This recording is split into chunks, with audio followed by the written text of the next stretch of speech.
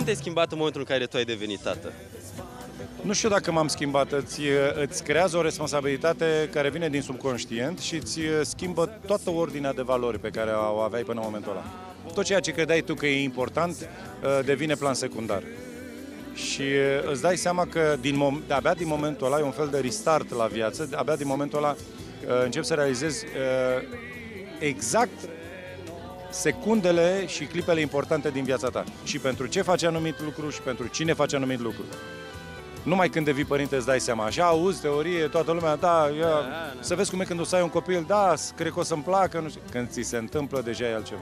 Cum a fost ziua în care s-a născut Dora? Că mi se pare că trebuie să vină ziua ei pe acum, prin noiembrie, nu? Șapte, peste cinci zile e ziua ei de naștere, face 9 ani, nu vine să cred că trec ani atât de repede, dar uh, sufletul rămâne tânăr. Eu vreau fimea să mă știe așa cum sunt să mă știe așa cum sunt și să se obișnuiască cu mine așa. Cum a fost acea zi de acum 9 ani? Pentru mine a fost o zi uh, în care nu știam cum să fac să ajung mai repede acasă, eu fiind la Cernavodă într-un festival de copii în juriu. Deci erai deja cu munca. Eram cu munca, eu jurizam copii și uh, fimea a primit nota la naștere în funcție de cât de mult s-a zbătut mama ei așa. să o aducă pe lume.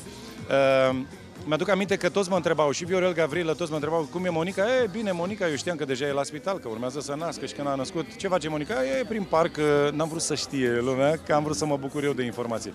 Când a terminat festivalul, de la Cernavodă până în, la maternitate 1 Giulești am făcut 50 de minute. Nu mă întrebați nimic. Când mi-a zis asistenta, a, doamna Temișan, aveți o fetiță foarte frumoasă. Și când mi-a pus măgăldeața aia în brațe, neagră, vânătă, care urla și zic, Asta e frumoasă?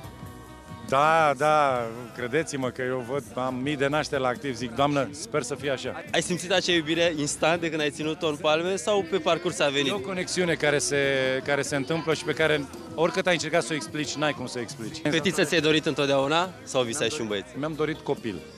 Noi suntem din familie de trei, Monica e din familie de trei, ne-am dorit minim doi. Iată că sorții au spus că ne oprim la unul. Dar, uh, indiferent, băiat sau fată, în orice caz, faptul că e fată și e mai atașată de mine decât de măsa, că așa e vorba.